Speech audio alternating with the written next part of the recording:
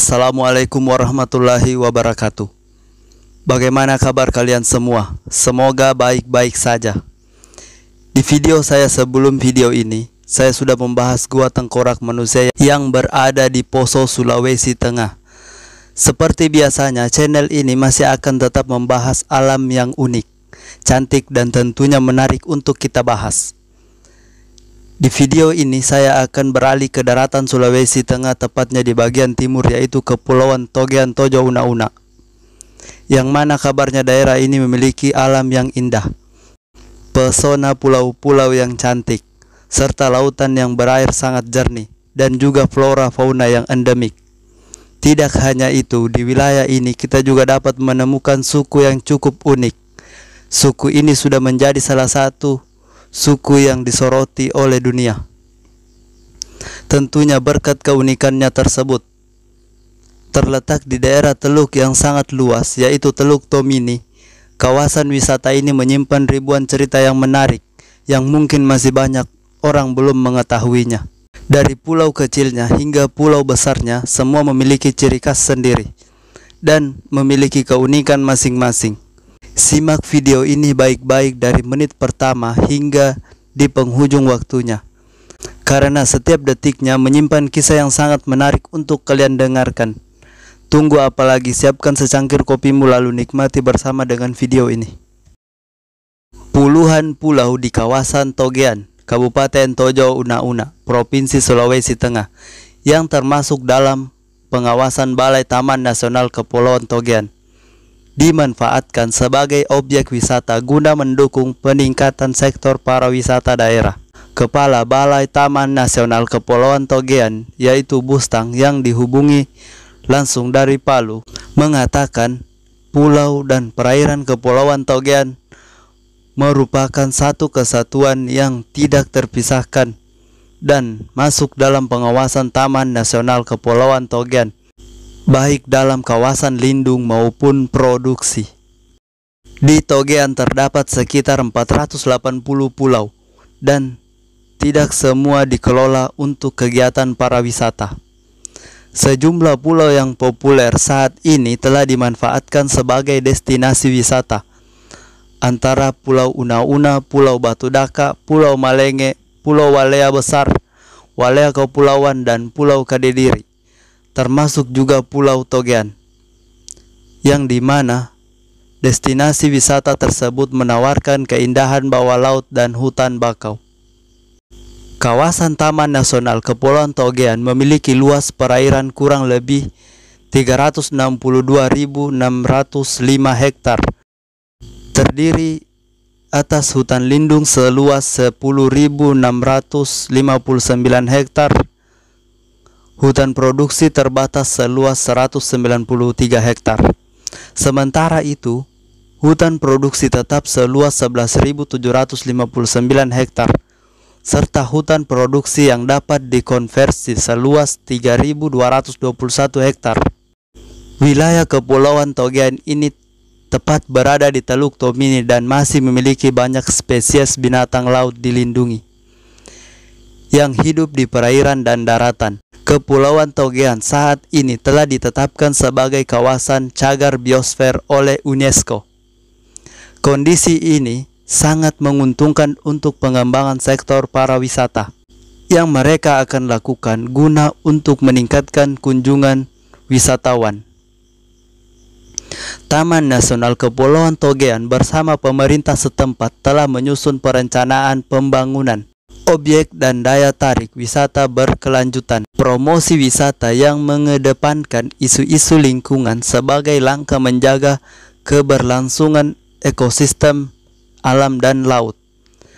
Ke depannya, pemerintah setempat juga akan lebih sering membahas upaya-upaya peningkatan sinergi melalui forum dan komunikasi tentang pengembangan cagar biosfer Togean. Di sisi lain, Taman Nasional Kepulauan Togean juga telah melakukan pembinaan ekonomi masyarakat melalui intervensi program pemberdayaan dengan menyediakan sekitar seribu kepiting bakau atau crab bell. Kepala kelompok binaan termasuk alat tangkap ikan diberikan kepada sejumlah kelompok untuk mendukung kegiatan nelayan di wilayah tersebut. Program pendukung pengembangan cagar biosfer bertumpu pada tiga sektor yakni lingkungan, sosial ekonomi, dan pariwisata. Meskipun belum sepopuler Wakatobi atau Raja Ampat, kepulauan yang terletak di tengah Teluk Tomini ini Sulawesi Tengah menyimpan keindahan bawah laut yang menakjubkan. Selain taman bawah laut yang indah, Kepulauan Togean menjadi salah satu daerah bermukimnya masyarakat suku Bajo yang sebagian besar hidupnya banyak dilakukan di atas laut serta dikenal sebagai penyelam yang handal. Tak heran jika Kepulauan Togean menjadi salah satu dari 29 destinasi para wisata unggulan nasional karena kaya akan potensi para wisata bahari, taman bawah laut serta budaya masyarakat lokal. Di tahun 2019 kemarin, Kepulauan Togean bahwa sudah dinobatkan sebagai salah satu cagar biosfer dunia UNESCO sehingga layak menjadi laboratorium terbuka untuk pengembangan dan inovasi ilmiah sekaligus sebagai tempat yang bisa menghubungkan kehidupan antara manusia dan alam. Kepulauan Togean memiliki hamparan pulau-pulau yang besar dan kecil. Ada enam pulau besar dan di sekitarnya 60 pulau kecil yang menjadi salah satu primadona para wisata Sulawesi Tengah yang memiliki berbagai keindahan seperti koral tropis, seavan, soft, coral, sea sponge, dalam berbagai ukuran serta berbagai jenis spesies ikan hias, kepiting kenari dan hutan bakau. Alam bawah laut Togean merupakan surga bagi wisatawan yang gemar melakukan aktivitas fishing, sailing, snorkeling, dan diving yang dapat dilakukan sepanjang tahun. Kepulauan Togean memiliki pulau-pulau yang banyak dihuni oleh hewan-hewan endemik seperti tangkasi dan babi rusa. Pada tanggal 11 September 2003 silam, Menteri Kebudayaan dan Pariwisata Republik Indonesia turut menobatkan Kepulauan Togean sebagai kawasan ekowisata bahari nasional.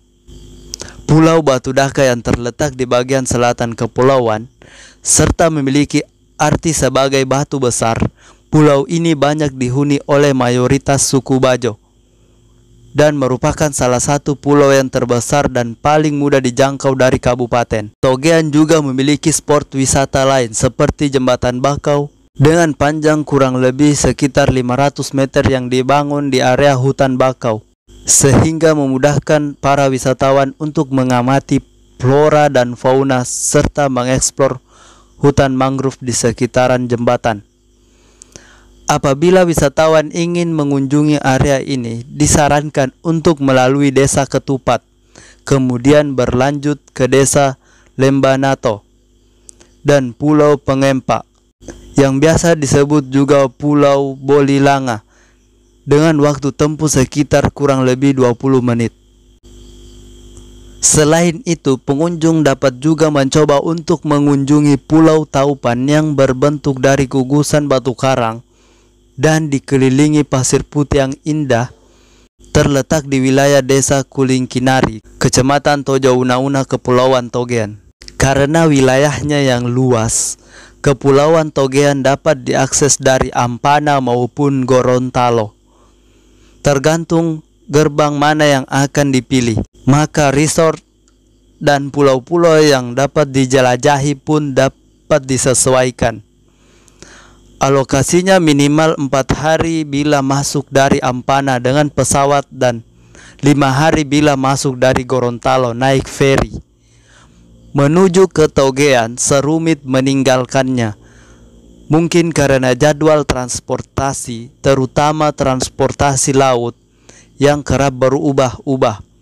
Sehingga rencana di hari yang dialokasikan untuk perjalanan berangkat maupun pulang Rencanakan perjalanan antara bulan April hingga November, di mana bulan-bulan ini merupakan saat terbaik untuk berkunjung ke Pulauan Togean. Perjalanan dari kota Palu menuju Ampana memakan waktu sekitar 8 jam melalui perjalanan darat. Anda pun akan menemukan cukup banyak homestay untuk beristirahat sebentar saat sampai di Ampana.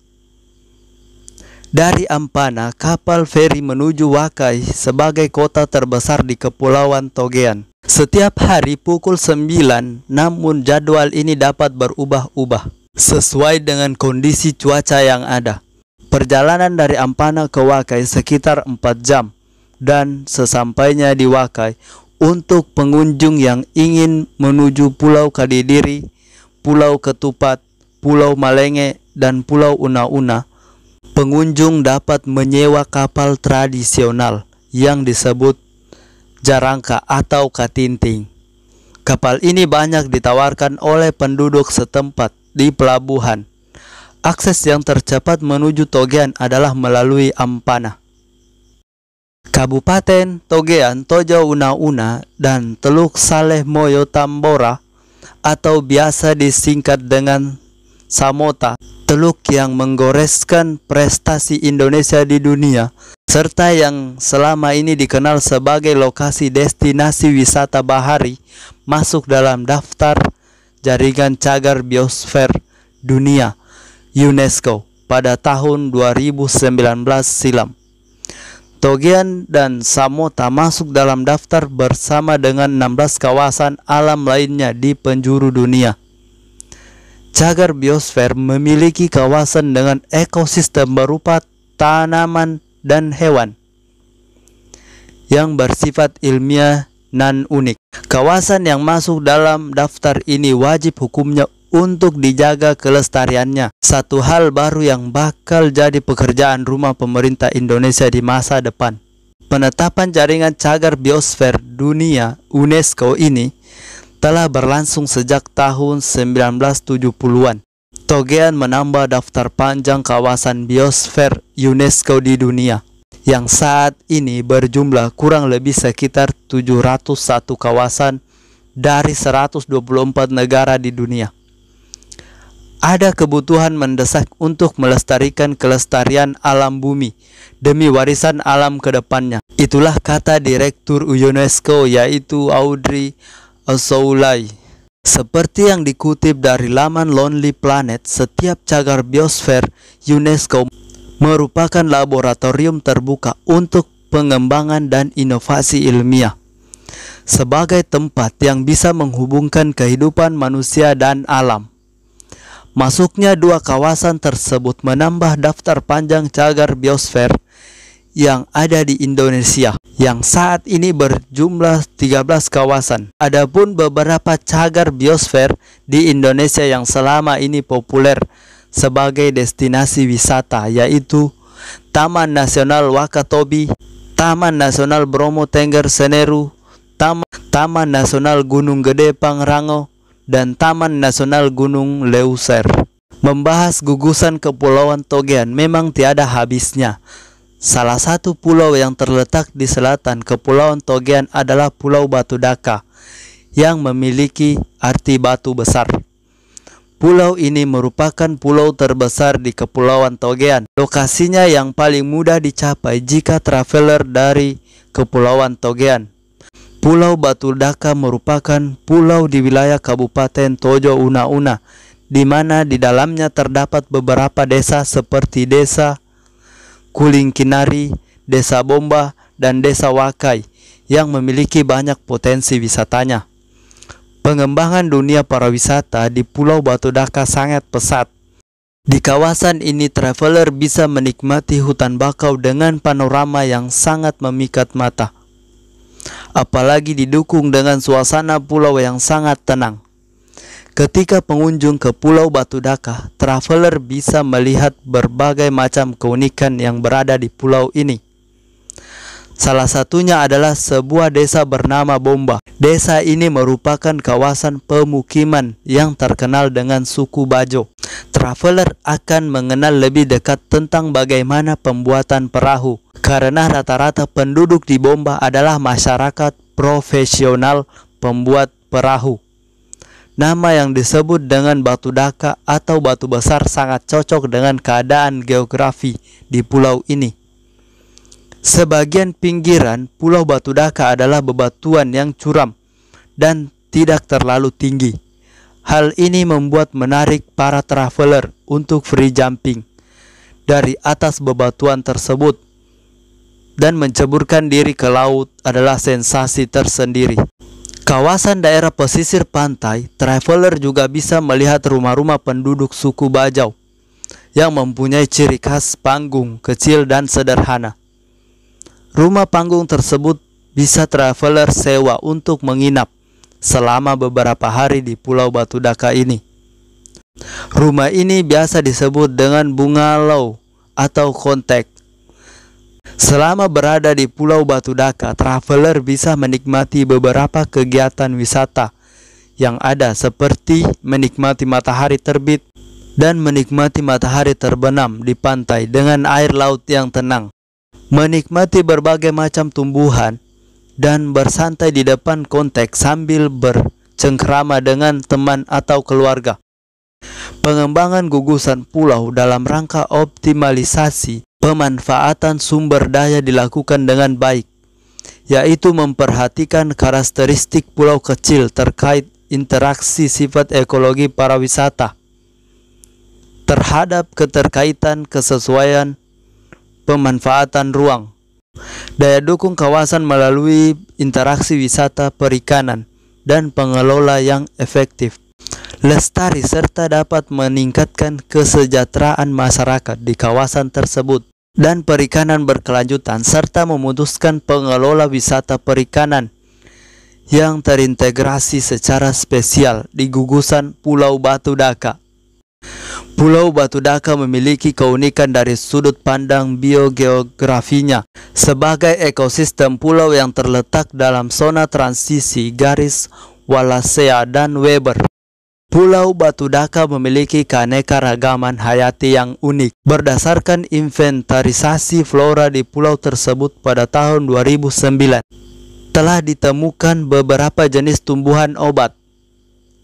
Terdapat sekitar 77 jenis di kawasan Pinaat, 75 jenis di Wakai, 37 jenis di Tinangkola, dan 22 jenis di Tinampo yang berdasarkan referensi bermanfaat sebagai obat. Kata masyarakat setempat, baru 9 jenis tumbuhan yang paling banyak dimanfaatkan sebagai obat, yaitu Jatropa curcas yang biasa digunakan sebagai obat sariawan.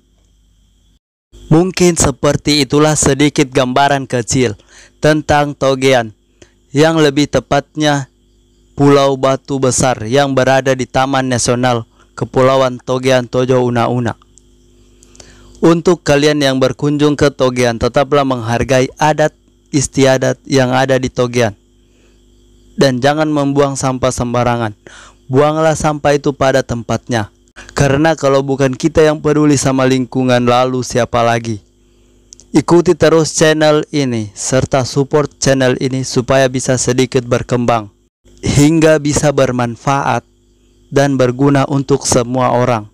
Silahkan klik saja di kolom komentar saran dan pendapat kalian karena kolom komentar akan selalu terbuka untuk kalian semua.